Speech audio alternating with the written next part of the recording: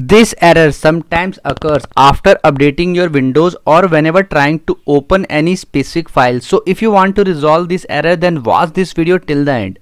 First thing you need to simply reboot your system. Simply go to your system and simply restart it. And re after restarting try to check it because after restarting some problem get fixed automatically the next step is to give administration permission to the app in which you are getting the error. For example i am getting this error in epic games so i will right click over this and click on properties. After that there is option of compatibility. Click on this.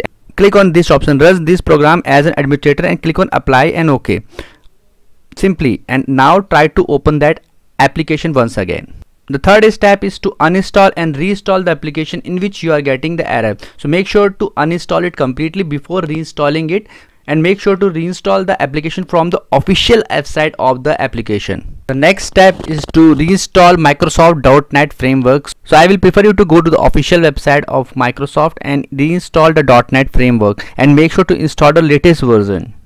Also install Microsoft Visual C++ redistributable from the Microsoft's official website. Before that uninstall the previous version installed in your system. Sure to also update all the new updates on your Windows and like DirectX and dot framework. So install every update. Do not leave any update because updates are very important. At the end you need to open command prompt and right click on this and click run as administrator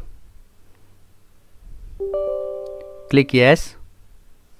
In command prompt you need to type chk dsk space c drive f slash f slash r and press on enter and clean everything clean your disk.